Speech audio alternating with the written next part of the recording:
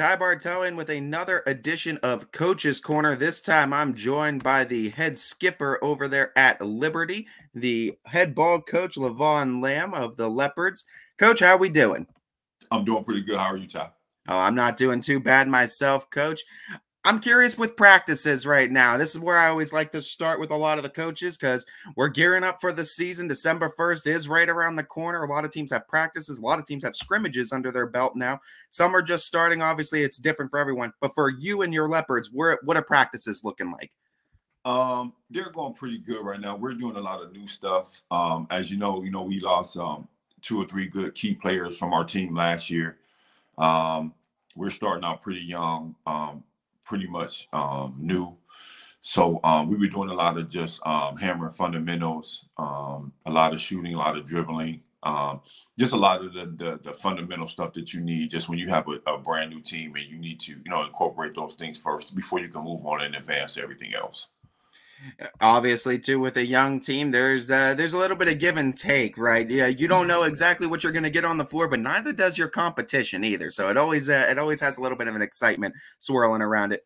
Coach i want to get a chance to actually go in depth and get a chance to meet some of these guys on this team. I know maybe the roster isn't finalized yet we don't know all the spots but who are some of these big impact players or some names we can expect to see out of the leopards this year? Um, right now we were um, you know leaning on um, two of our returners who did actually see some varsity time last year, which was um, Deramani Franklin and Evan Bates. Um, Deramani Franklin, unfortunately, uh, plays football for us as well. He um, suffered an injury, and um, he's out for the first couple of weeks of the season. We're looking um, forward to getting him back here soon. Um, Evan Bates is a guy that's a scorer. Um, we look to him as one of our leaders. Um, he's actually played, been in um, some tough games for us, and um, we're just looking for him to come out, help us with the young guys, get them on board with um, our style of play and some things that we do, and uh, you know, just to get those guys going for us. I could expect the first half of the season, first 11 ish games or so. You want, really want to get these guys' feet wet too. And obviously, with the postseason tournament, everyone makes it anyway too. So you're competing for for conference crowns, you're competing for mm-hmm. things like that, but you're also trying to develop your team for that second season. What do you? What are some of the early goals in like that first half of the season that you want to see from these these younger guys and trying to get them developed uh, at the varsity level? Well, you know, first of all, we look at just how they handle it. Um, we have a lot of freshmen this year that's going to be playing um, at the varsity level for us, and I know it's a different, it's a different level, different type of speed. Um, so we're just, you know, looking to see how they handle the first couple of games, um, how they handle the crowds, um, how they handle just the fast pace of the game, and how you know the just the difference from eighth grade to the varsity level. Um, also, we're just looking at and just hoping that they get better um, every night. I mean, you know, you want to go out and win, and you want to, you know, every game. But we we want to just our goal initially is for them just to go out and just to compete. Um, we can compete, um, you know, give our chance to, you know, give us a chance every night or every game night to go out and possibly win the game. That's a good thing. But I'm also um, looking at, you know, we're also looking to see them get better and progress every night as we go out and play the thing about this conference too it gives you that opportunity to get better each and every game because mm-hmm. i mean there's no nights off in this mvac gray side. From your perspective from a head coach perspective what do you see out of the conference this year? What kind of competition is it going to give you um I, I, think the conference is wide open. Um i you know it, it's not you know you you can't never i never go in trying to say it's this team or that team. Um, we always know who you know the heavy hitters are um, we just kind of look at everybody the same and try to approach every game the same. Uh, we just try to go in and just get as much, you know, scouting information and, and, information on the team, and we go on as prepared as we can, and just trying to put, you know, the the the, the, the guys on the floor that we feel that that's going to help us be successful. Um, you got to come and play every night, um, even at home. You know, you got to come out and play every night. It's not just, you know, it's not a given that you're going to win on your home floor either. So, um, we just try to you know put them in the best position that we can. Um, you know, like I said, via scouting, um, information, player personnel information, and then um, we just hope that we just come out and compete every night and just give our give our, our ourselves a chance to win and come out you know victorious at the end of the night. You guys pair the tough conference with a pretty nice non-conference schedule, I'll say as mm-hmm. well. And you guys are going a little bit everywhere too. I mean, you got teams from Akron, you got teams from down in Columbiana too in the non-conference. What do you like out of this non-conference? Are there any kind of challenges you're excited to uh, to present your boys with? Uh, I think they're all challenges. Um, that was one of the things I wanted to do with us being such a young team. I wanted to give them that um, that different look of just not, you know, just not playing all local teams. I wanted to get out and play some teams that we normally don't play, just to give us a different look to kind of, you know, prepare them and get ready for what we'll see, you know, in our conference down the line, you know, going into the playoffs. Cause you know, you never really know who you're gonna play until you, you know, to that um the draws at the end of the season. And then also um we wanted to go on the road a little bit to get those guys that experience of learning how to play and playing in that type of atmosphere um, you know, hearing the crowds, hearing the other student sections chant and, and, and cheer and say things. And um, that was one of the things we looked at. We wanted to kind of uh, get them prepared early um, just for that challenge. So that was one of the things we did.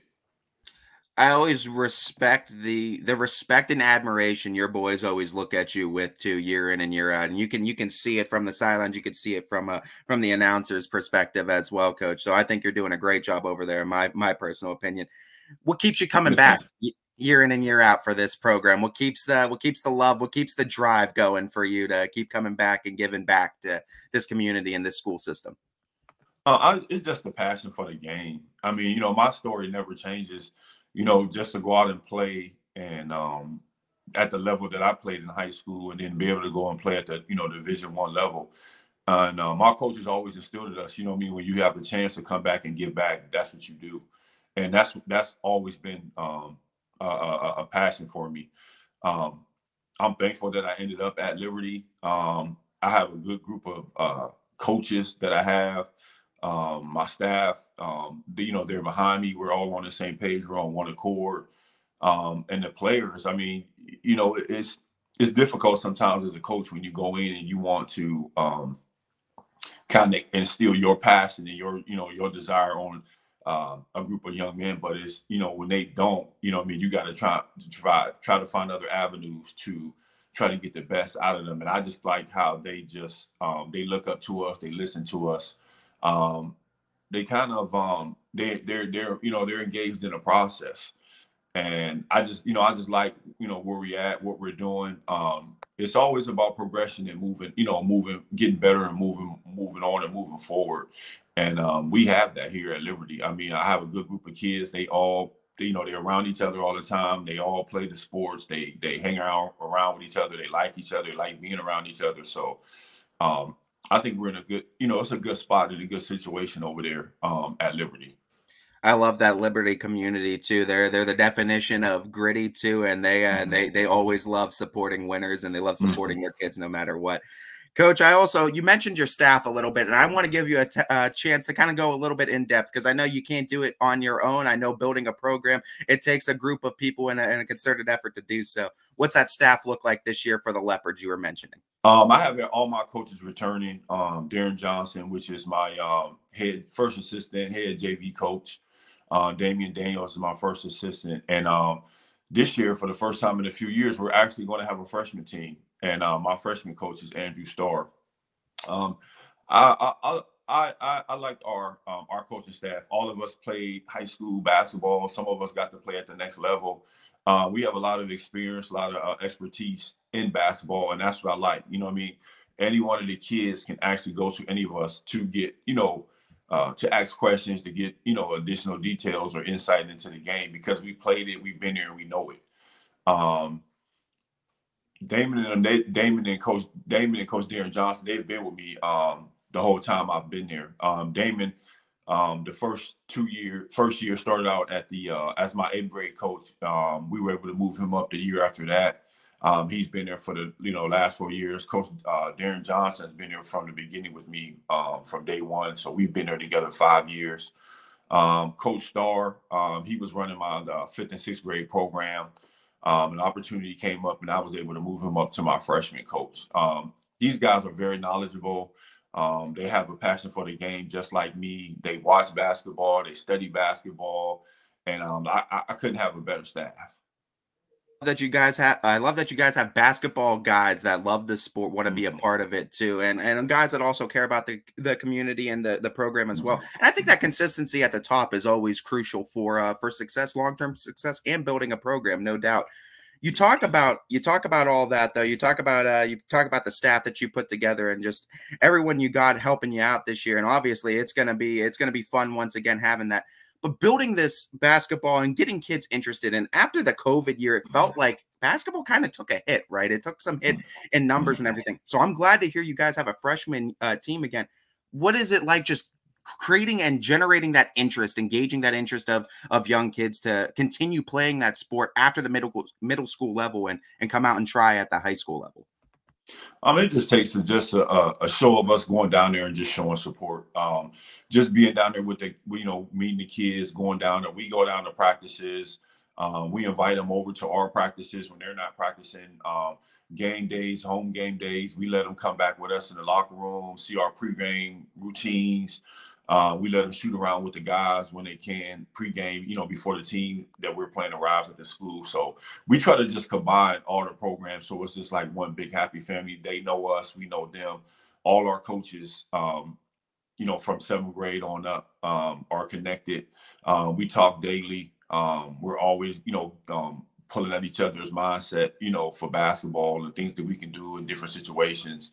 So I, I think it's, it's like you said, it's more of a, it's more, more feels like like a family thing. Like I just, I just enjoy uh, my coaching staff, and um, like I said, I couldn't, have, you know, I feel I couldn't have picked a better staff. Um, everybody is very knowledgeable, and then just dealing with the kids, I think just seeing um, how we're connected like that, and you know what we're doing, and and some of the things that we're accomplishing, I think that helps.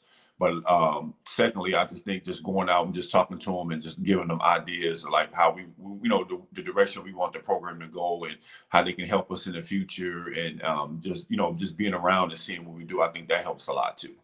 I'm excited to see basketball out of this conference. I'm excited to see you guys play too. We here at uh, YSN, we're certainly rooting for the Leopards this year. Coach, yeah. before I before I let you go, though, I got to give you one more question, and it's kind of been a theme I've I've asked all head coaches uh, this year, and it goes back to that love of the game. And you might be a fun one to talk to about this because I know you have that love, you have that passion. It's what got us started in the sport, right? It's what keeps us coming back each and every year. It's because mm-hmm. we love the game, right? No matter mm-hmm. what our position, what what our role is in the game each and every year.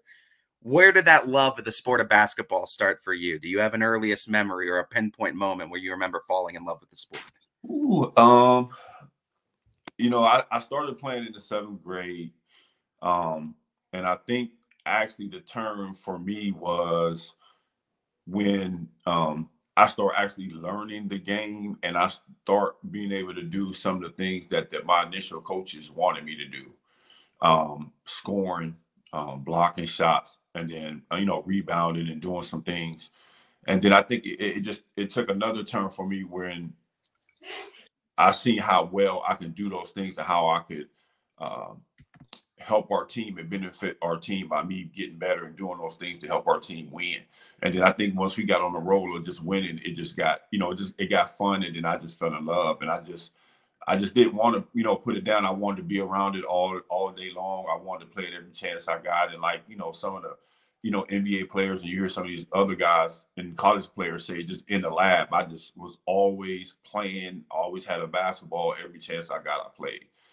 So it was a early on um, love, but I really, really loved it when I got to high school and was able to play and then getting better and then um, you know, advancing my um, basketball IQ, my mind, and then just seeing the things I was able to do. And then once you know you get better, then you know your name kind of get out there. And then when coaches start coming to recruit you and look at you, and then they tell you how good you are and how you can help their program, and you know you start looking at yourself and it was like, I you know I really can do, you know I'm really doing this, like I really do this. So it was an early love. Then I had like a second level love, if you want to call it, once I got to high school, and then all the success we had there.